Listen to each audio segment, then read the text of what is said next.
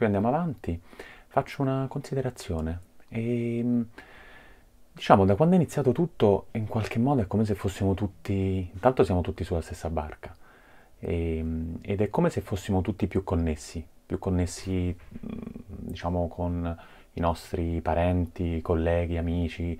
Io personalmente sento le persone molto di più di prima, a voce, al telefono, in call, anche i miei genitori, in qualche modo li, è come se li vivessi di più, ovviamente un modo, in un modo nuovo, digitale, virtuale, non, non fisico, e questo ovviamente mi manca come credo manchi a tutti.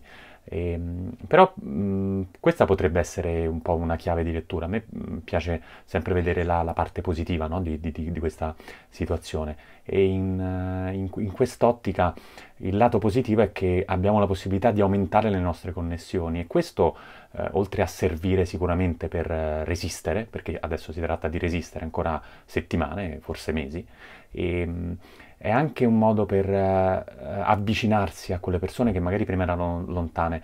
Io mh, mm, ho cominciato a, a, scrivere, a cercare di rimettermi in contatto con persone che non sentivo più, non, non che non le sentissi vicini, ma ci eravamo allontanati nel corso del tempo e ora alcuni mi hanno risposto, altri no. Uh, questo non importa, io credo che la, diciamo, la vicinanza e l'empatia debba vincere rispetto a tutto il resto, rispetto al rancore, rispetto a quello che era prima. Se c'è una cosa buona, se vogliamo vedere una cosa buona di questo virus, è che eh, diciamo, abbatte ogni barriera. Siamo tutti nella stessa situazione in tutto il mondo, 4 miliardi di persone chiusi dentro casa e, e quindi non, non, non, possiamo farci...